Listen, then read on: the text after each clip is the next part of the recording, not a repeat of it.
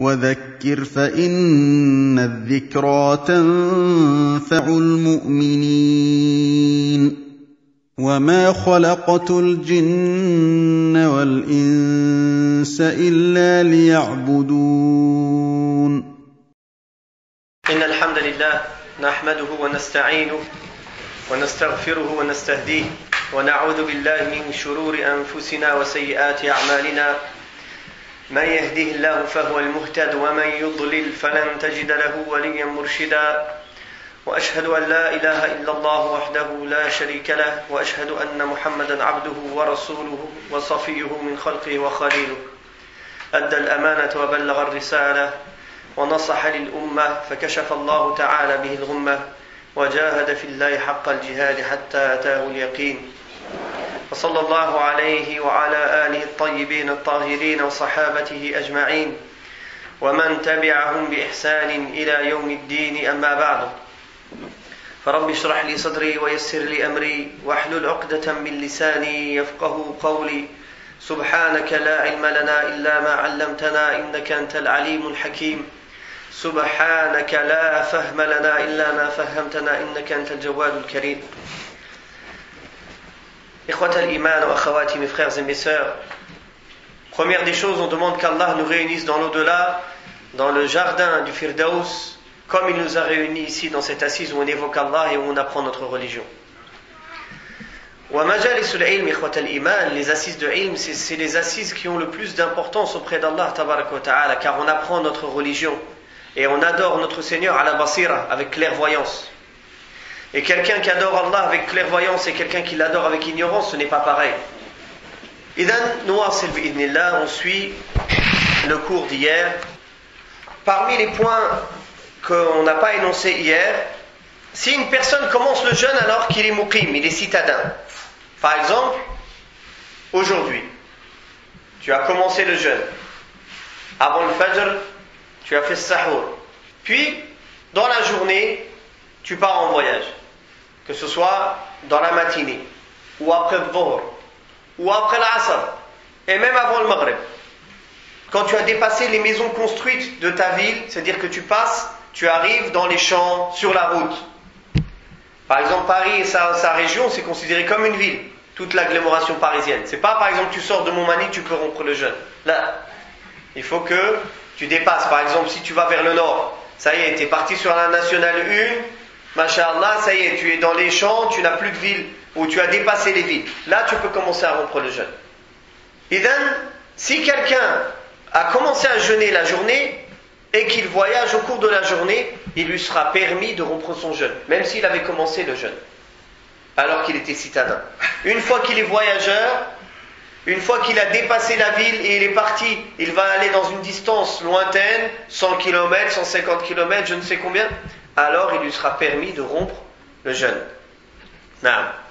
De même, une personne qui travaille, par exemple, livreur, ou bien facteur, euh, ou bien euh, taxi. Mais facteur, taxi, livreur, ceux qui livrent loin et qui sont taxis dans des endroits lointains.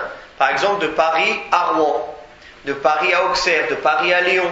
Celui-là, même s'il part dans une même journée et il revient, il lui sera permis de rompre le jeûne et de rattraper à un autre moment. Par exemple, si le jeune il est en été et lui il travaille en été, il va loin.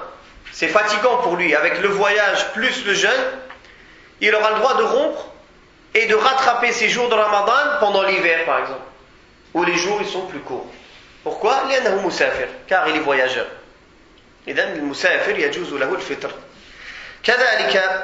Les conducteurs d'avion, c'est la même chose.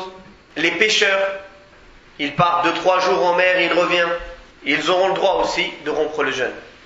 Voilà celui qui est dans un bateau.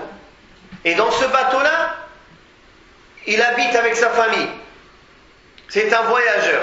C'est sa vie comme ça. Sa maison, c'est son bateau. Celui-là, il ne sera pas permis de rompre le jeûne. Celui-là, il est considéré comme un muqim, comme quelqu'un qui est citadin. Car sa, maison à lui, son, endroit de résidence, c'est son bateau. Même s'il si fait que voyager toute sa vie. Il fait le tour du monde, par exemple. Ah.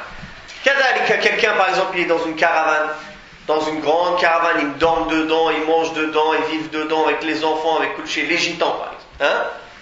Cheikh l'Islam, il a déjà parlé de ces gens-là, parce qu'à l'époque, il y avait des nomades. Et les nomades, comment ils faisaient? Ils ont un endroit où ils sont en été, ils ont un autre endroit où ils sont en hiver les gitans c'est pareil si tu regardes bien ici quand ils sont arrivés à l'endroit où ils restent en été ou en hiver, ils n'ont pas le droit de rompre le jeûne. Mais sur la route, en allant d'un endroit à l'autre, ils auront le droit de rompre le jeûne. un étudiant qui vient de l'étranger par exemple. Il est venu en France pour étudier. Celui-là, une fois qu'il est resté ici, il va étudier plusieurs mois, il va rester un an. Celui-là, il ne lui est pas permis de, rompre le jeûne ni même de diminuer la prière. Bien que certains ulama ont fait cette fatwa, c'est qu'il n'y est pas permis. Parce qu'il est comme le muqim, il est installé. Il est installé. Je connais des gens, ça fait 5 ans qu'ils sont ici. Il a une femme, il a un travail, il a un appartement jusqu'à maintenant, il fait la prière qasr.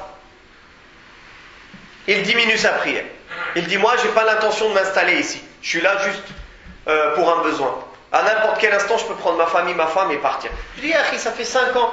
Tu as un appartement, tu as un emploi, tu, tu, as tout. Comment ça, tu, tu, peux, tu élargis les, les, facilités comme ça?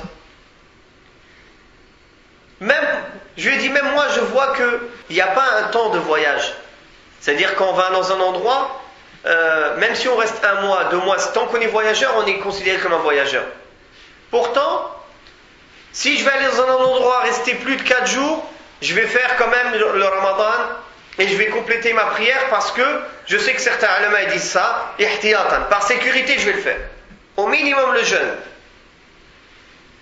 Voilà, toi ça fait 50 et ici, ça ne te dérange pas. Il faut faire attention dans l'islam et ne pas trop s'approcher des limites qui pourraient nous faire euh, tomber dans le haram. Bien sûr, il y a des facilités, mais il faut rester dans les limites de ces facilités.